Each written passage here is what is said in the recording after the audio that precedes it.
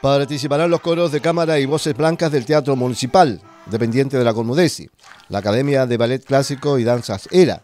Además, 300 cantantes de Kindergarten y 300 cantantes de la Educación Básica de Colmudesi.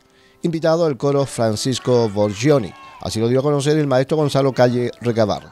Como todos los años, nosotros entregamos una ofrenda musical a Chile, en esta oportunidad conmemorando los 207 años de nuestra patria y van a participar los coros de voces blancas de nuestra corporación.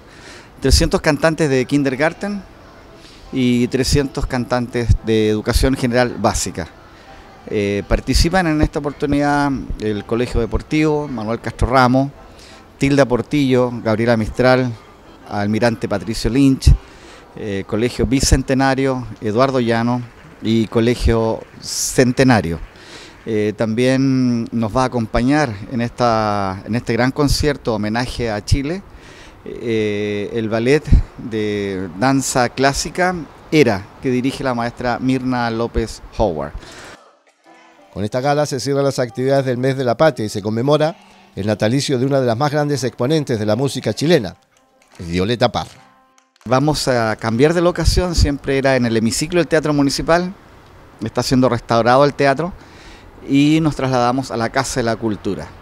Eh, ya hemos dado conciertos para el Día del Niño con las voces blancas de nuestro teatro.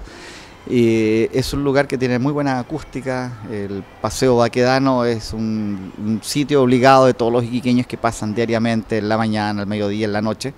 Y, y este viernes a las 17.30 horas nosotros comenzamos con 300 cantantes de Kinder que interpretan música chilena, música de nuestra zona, de nuestra ciudad.